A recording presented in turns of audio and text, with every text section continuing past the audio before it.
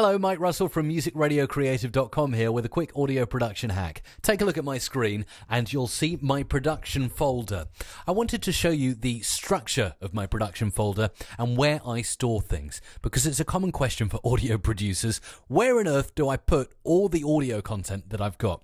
So I'd like to show you how I do it and ask for your feedback in the comments of this video on how you do it too. So take a look at my folders here. The first one client archives.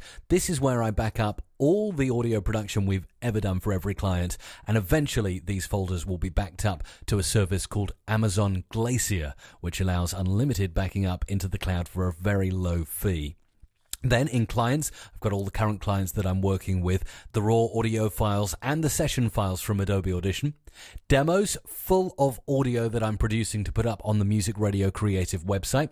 DJ drops and free radio jingles are full of samples that I'm going to put out on djdrops.org and freeradiojingles.co.uk. A couple of free resources we provide with lots of free downloads for you. MRC.FM is my internet radio station and everything to do with that is in there. All the sung jingles, the voiceovers and the music tracks I'm working on. The podcast is full of every single podcast I've ever done, from one right the way up. And in fact, there's a lot of raw WAV files in there that, again, I need to look to back up into the cloud using Amazon Glacier because they take up a lot of space on my hard disk. Royalty free beds, I'm starting to categorize now by different genre as I download them from places like Audio Jungle. Sung Jingles, full of Sung Jingle sessions we've done, ready to be edited and mixed, and of course, Jingle Beds too. Tools is one of my favorite folders. Tools of the Trade. These are all the sound effects and imaging effects we use here at Music Radio Creative to create general radio jingles, and they're all categorized into volumes and different genres as well.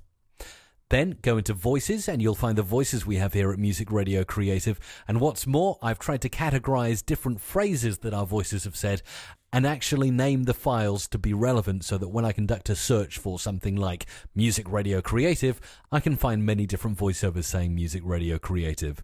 And the final folder is YouTube, and that's for my YouTube work that I do. So any audio that I'm editing or any video goes in there. Well, there's just a brief look at how I structure my audio production directories. How do you do it? Leave a comment below this video and let me know.